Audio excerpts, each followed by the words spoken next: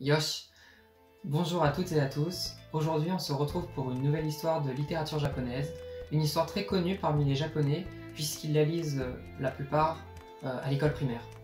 Elle s'appelle Chumon no Oi Ryoriten, le restaurant de nombreuses commandes, par Miyazawa Kenji. C'est l'histoire de deux gentlemen anglais, en tenue de soldats, armés de fusils, et accompagnés par leurs deux chiens ressemblant à des ours blancs. Ils se plaignent tous les deux des chemins abrupts et du gibier introuvable. À la recherche d'une proie, ils s'enfoncent dans les montagnes et en viennent à se perdre. Soudain, les deux chiens sont secoués par des vertiges, aboient quelque temps, vomissent, puis meurent brusquement. La mine affligée, le premier protagoniste décide de rentrer, et le second, frigorifié et l'estomac sur les talons, le suit de très près. Mais avant, il compte passer à l'auberge de la veille et acheter pour seulement 10 yens de la volaille et du lapin, ce qui pour eux reviendra au même qu'une chasse pendant laquelle ils ont eu la main heureuse. Cependant, le problème est qu'ils ne savent pas comment retourner sur leur pas pour rentrer.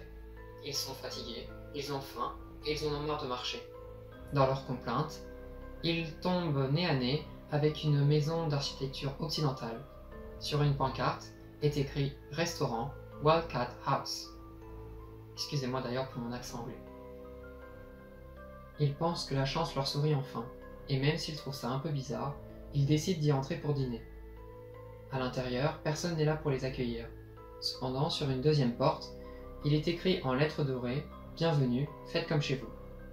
Sur ces mots, les deux protagonistes se réjouissent et comptent bien en profiter comme des rois. En poussant la porte, ils arrivent dans un nouveau couloir et y lisent un message en lettres dorées Nous accueillons d'autant plus chaleureusement les personnes peu âgées et celle au ventre bien bedonnant. Nos héros se réjouissent d'être tous les deux jeunes et corpulents. En avançant, ils tombent sur une porte peinte en bleu. Une méfiance va se créer chez l'un, tandis que l'autre explique à son ami que c'est un phénomène que l'on retrouve en Russie, dans les endroits entourés de montagnes et où il fait froid. Ils passent au prochain couloir et lisent en lettres jaunes Veuillez noter que notre restaurant propose une carte aux plats très variés. Ils sont d'abord très surpris qu'une telle enseigne se trouve au milieu des montagnes, alors qu'il y en a très peu le long des grandes avenues de Tokyo. Les commandes peuvent être nombreuses. Nous vous prions de nous excuser pour la gêne occasionnée, disent-ils ensuite. L'un des chasseurs semble perdu. Son ami lui explique qu'il souhaite certainement s'excuser pour le temps d'attente lors de la préparation des repas, mais les deux chasseurs semblent de plus en plus fatigués.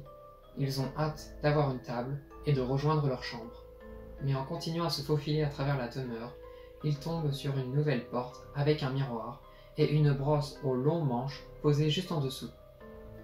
Ils y lisent, en lettres rouges, Cher client, veuillez vous brosser les cheveux, ainsi que la boue de vos chaussures. Ils obéissent, car ils pensent que l'hôte de cette demeure est une personne très sophistiquée, et qu'il est normal de se décrotter quand on vient de la montagne. Veuillez poser vos balles et vos fusils ici, lisent-ils sur la nouvelle porte. C'est évident, pense-t-il. Pour manger, pas besoin de s'encombrer du superflu, et ils enlèvent leur ceinture avec. Veuillez retirer votre chapeau, vos chaussures et votre manteau, et dans cette même idée, ils suivent les indications écrites. L'épisode se répète avec un nouveau message. Veuillez retirer vos épingles à cravate, vos boutons de manchette, votre portefeuille, vos lunettes ou tout autre matériel ou objet pointu. Tout est gardé dans un petit coffre fort dont ils obtiennent la clé. Ils se disent que cela peut être dangereux d'avoir de telles choses sur soi, et ils paieront certainement au moment de partir. Ils parviennent ensuite devant un petit pot de verre rempli de crème de lait. Veuillez vous enduire de la tête aux pieds de crème. Cette fois-ci, ils comprennent qu'avec le froid ambiant de dehors, il leur faudrait mieux se badigeonner de crème pour éviter les craquelures. En passant la porte, ils lisent Avez-vous bien mis la crème même sur les oreilles, tout en découvrant un nouveau pot de crème? Il félicite les scrupuleuses attentions du maître de maison et décide de continuer. Vous allez pouvoir bientôt manger. Vous attendrez moins d'un quart d'heure. Parfumez-vous le visage avec cette bouteille de parfum. L'odeur leur semble étrange. On dirait du vinaigre. Mais peut-être qu'une servante malade s'est trompée de récipient. Puis après une énième porte, ils lisent en caractère d'impression bien plus grosse.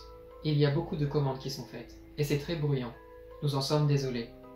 Il ne vous reste plus masser l'intégralité de votre corps avec le sel dans le pot si présent.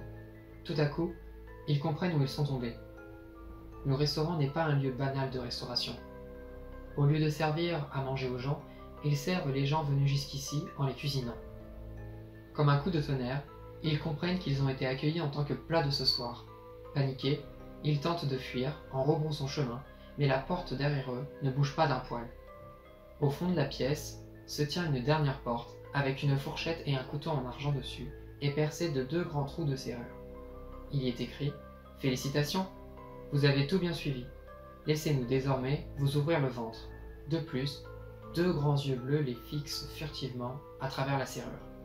Les chasseurs perdent tous leurs moyens et se mettent à pleurer. Ils entendent depuis l'autre côté deux voix discuter. Mince On est repérés et ils ne sont même pas mis du sel. En même temps, c'est bien normal. L'écriture du boss est mauvaise. Et puis, ce qui est écrit est idiot. Qu'est-ce qu'on s'en fiche? Il ne va pas nous partager les os. Certainement. Mais si ces deux-là n'étaient pas entrés et n'étaient pas venus jusqu'à nous, alors on aurait dû en prendre la responsabilité. Les deux voix en viennent par la suite à les appeler en les indiquant que tout est prêt pour qu'ils soient préparés.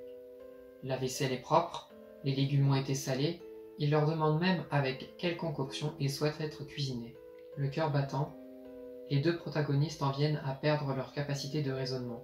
Ils ne font que trembler et pleurer. Les deux voix les incitent à se dépêcher, car leur patron a hâte de recevoir son repas. Tout à coup, deux gros chiens ressemblant à des ours polaires font irruption dans la salle. Les deux pupilles d'azur disparaissent aussitôt, et après un aboiement, les chiens se jettent sur la porte suivante.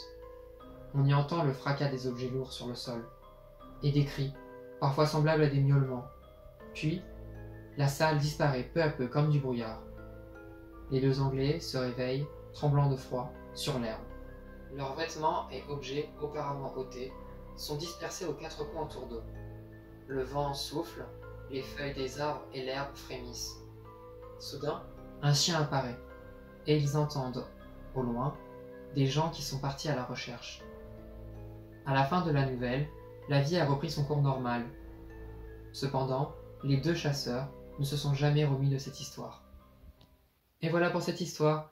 J'espère qu'elle vous aura plu. N'hésitez pas à vous abonner, à laisser un commentaire et même un like. Je vous repasse mon Instagram si vous voulez aller vous abonner. Je vous souhaite aussi de très bonnes fêtes de Noël. À la prochaine pour une nouvelle vidéo. Salut